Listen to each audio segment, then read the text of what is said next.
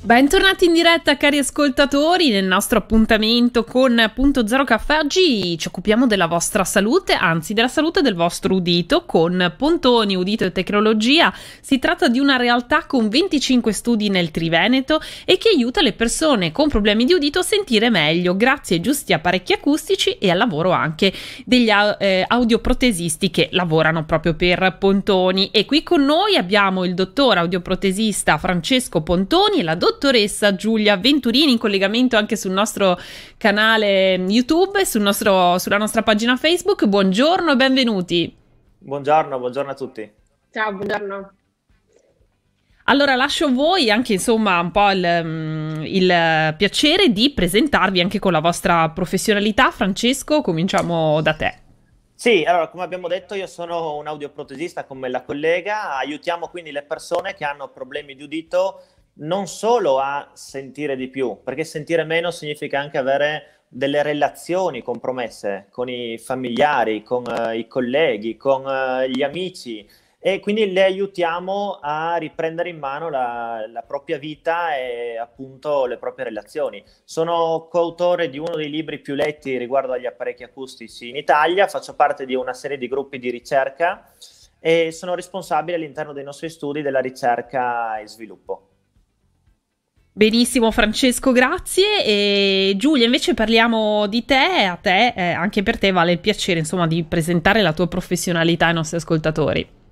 Sì, allora anch'io sono un audioprotesista da 5 anni più o meno e seguo soprattutto bambini, infatti ho un buonissimo rapporto anche con il burlo, collaboro molto con loro e all'interno della nostra squadra sono anche la responsabile della parte di Trieste, della provincia di Trieste di seguire sia adulti che bambini che hanno gli impianti cocleari, che sono quella specie di orecchio bionico. Quindi qualcosa un po' anche di diverso rispetto a un apparecchio acustico. Benissimo, grazie Giulia. Allora è tempo insomma di, di, farvi qualche domanda anche per chiarire un po' quali, quali, sono insomma i tipi di aiuto che potete dare grazie a Pontoni. Eh, beh, insomma, sappiamo tutti che ci è capitato tutti insomma di avere qualche conoscente, qualche parente che sente un po' meno, no? La prima cosa che ci viene in mente è eh, quella di eh, alzare un po' il volume della TV, se parliamo della TV Oppure, mh, mm, se non sentiamo tanto bene, possiamo chiedere agli altri di parlare più forte. O non è soltanto così, Francesco? Allora, in realtà non è così, non è così. Facciamo, facciamo un esempio, facciamo un'analogia con la vista. Ad esempio, quando una persona ha problemi di vista, quando legge un libro, legge un giornale, vede ad esempio tutte le lettere più piccole, magari le vede più offuscate. A quel punto mette gli occhiali, come ce li ho io, e vede tutto nitido. Quando invece abbiamo un problema di udito, quelle lettere so, certe si continuano a vedere benissimo, altre non si vedono per niente. A questo punto aumentare il volume consentirebbe di far sentire ancora di più le lettere che si, che si sentono bene e si continuerebbe a non sentire le lettere che invece non, che si hanno perso, diciamo. Questo cosa significa? Significa che sentire di più non è sinonimo di capire di più. Infatti noi con gli apparecchi acustici abbiamo il uh, compito di, di, far sentire di più in maniera selettiva, quindi dobbiamo far sentire di più e meglio solo quelle lettere che la persona ha perso e a quel punto riuscirà anche a comprendere di più. Quindi sì, purtroppo non è sufficiente semplicemente aumentare il volume della TV. Beh, questo è molto interessante, penso che cambi un po' anche il nostro approccio, no? Rispetto alle persone che magari eh, non sentono bene. Eh, ma come mai secondo voi le persone banalizzano questo problema oppure addirittura lo evitano, Giulia? Allora, sicuramente alla base ci sono tutti i preconcetti che abbiamo noi sull'udito e anche ovviamente sulla soluzione da, da indossare, no? Quindi di base tutto quello che si sente dire dall'alba dei tempi, che viene visto come una vergogna, perché sono tutti convinti che sia una cosa troppo visibile, troppo estetica, cosa che ormai è sempre meno. Poi ovviamente il discorso prezzo nel dover affrontare la soluzione e poi di base comunque il fatto di dire se ho questo handicap sono vecchio, mi sento meno rispetto agli altri magari che hanno la stessa età, mi faccio vedere come mh, problematico, con dei problemi, allora sono più vecchio rispetto agli altri. quindi di base un pochino tutto. Infatti, solitamente ho più difficoltà con gli uomini rispetto che con le donne, sono un po' più esteti, sarà per i capelli corti, o, ok? E quindi è divertente perché mi dicono: Ma guarda, non serve che risolvo il problema, meglio che non sento, perché così non sento la moglie. Allora la sdrammatizzano. Hai capito? che il mio collega sorride, chissà perché. Eh. Allora Giulia, però tu so che ti occupi anche mh, di bambini, però ovviamente la stessa cosa, mi hai detto alcune persone si sentono vecchie, succede ovviamente anche ai più piccoli, anche loro possono avere eh, problemi di udito o, o è sempre solo una questione che peggiora andando in là con l'età, Giulia? Eh no, purtroppo alcuni nascono proprio con il, la problematica, il difficile a volte è beccarli subito, quindi accorgersi del problema, visto che appunto non imparano subito a parlare, non possono lamentarsi e quindi quello grazie all'ospedale che fa subito uno screening natale, tutte queste cose qua, il supporto dei parenti, dei familiari, bisogna starci dietro e rendersi conto quando non sente neanche un rumore che facciamo. Quindi sicuramente si può avere a tutte le età purtroppo per più motivi che sia un virus, che sia una cosa genetica, che sia un rumore improvviso che mi danneggia l'orecchio, ci sono tanti tanti motivi per cui purtroppo si può diventare sordi. Questo sì. Chiaro, insomma, Giulia.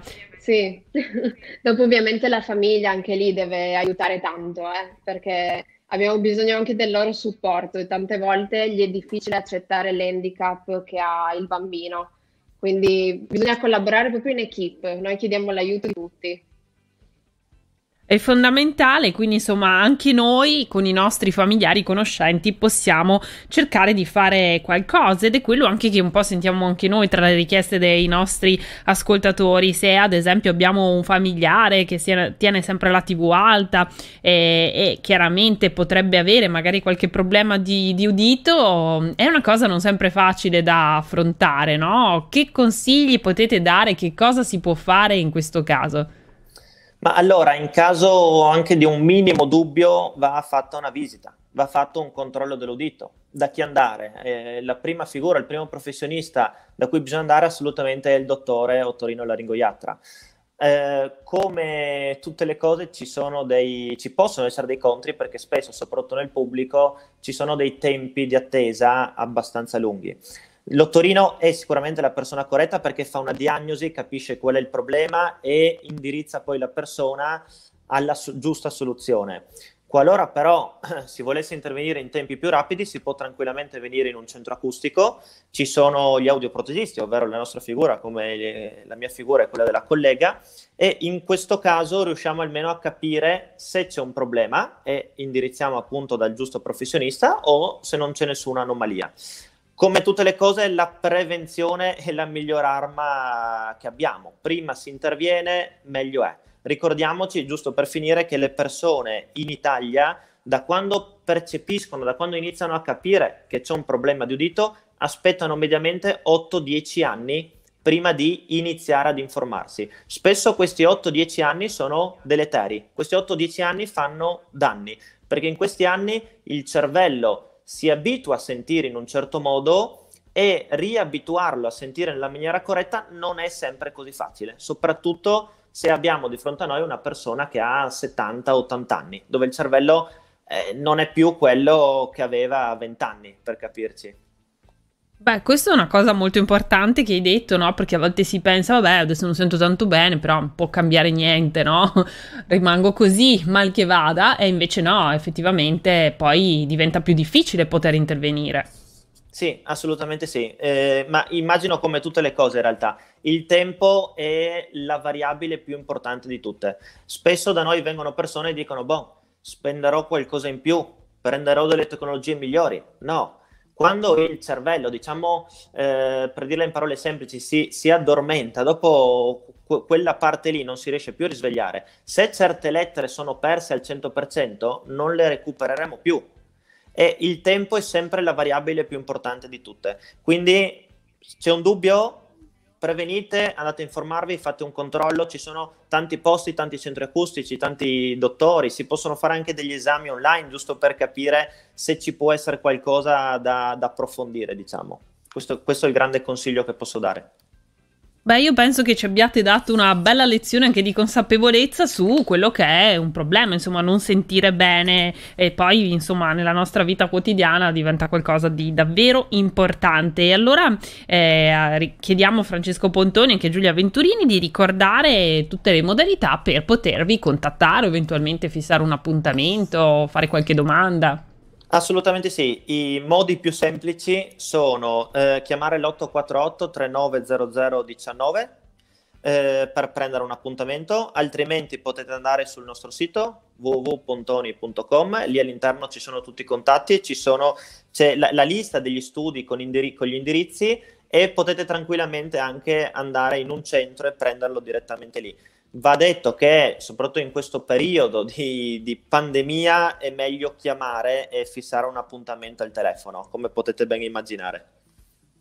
Certamente, questo è fondamentale. Io intanto vi ringrazio moltissimo, è stato molto interessante questo appuntamento. Grazie a Francesco Pontoni, Giulia Venturini di Pontoni Udito e Tecnologia, una realtà insomma eh, nel Triveneto presente con 25 studi e che sempre aiuta le persone a sentire meglio con i giusti apparecchi lavoro appunto che fanno loro audioprotesisti. Grazie per essere stati con noi, noi ci risentiremo naturalmente, magari risponderemo ad altre domande e spiegheremo ancora meglio che cosa si può fare per intervenire su questo disturbo. Grazie mille per essere stati con noi. Assolutamente grazie sì, grazie mille. Buona giornata. Ricordo ai nostri ascoltatori che poi potranno ritrovare questo video disponibile sia sulla nostra pagina Facebook che sul nostro canale YouTube e sul nostro sito radio.0.it per appunto risentire tutti i passaggi e cogliere quello che vi abbiamo raccontato oggi. Noi torniamo tra poco con altre informazioni, altre curiosità, quindi rimanete con noi su Radio.0. FM